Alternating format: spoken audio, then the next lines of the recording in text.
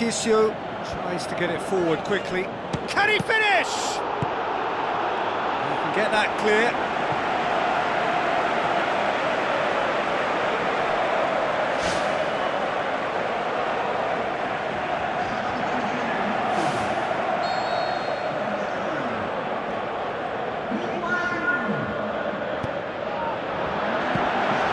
Good take by the keeper, he's read that well.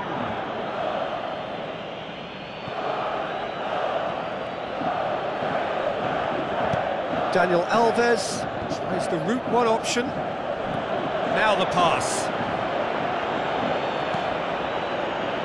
Good determined running there, but one back by the defence. Tries lifting it over.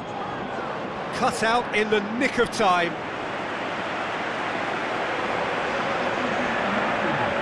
There are some very good headers of the ball in this team now, and they'll be demanding the right delivery to give them a chance to uh, to go at this. And out to safety.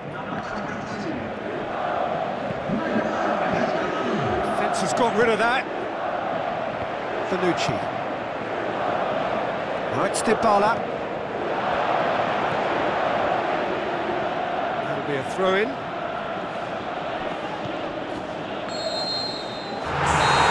The final whistle.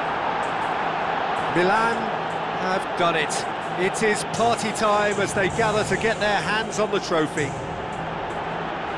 So on to centre stage come the central characters, the individuals who, as a team, blended into champions, and this is their moment.